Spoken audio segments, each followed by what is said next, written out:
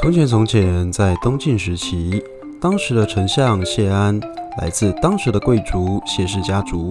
有一年冬天，户外正下着大雪，谢安看着大雪纷飞，就把家中晚辈们聚集在一起，准备和他们谈论一些文章中的道理。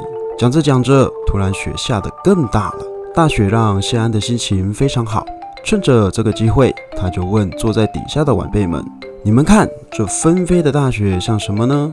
侄子谢朗沉声回答：“将盐撒在空中，盐巴落下的样子很像这场大雪。”侄女谢道韫听完堂哥的比喻后，摇摇头说：“哥哥，你这样形容并没有很恰当，不如说这场大雪像极了柳絮凭借着风势飘飞的画面。”谢安听完谢道韫的比喻后，不禁开怀大笑。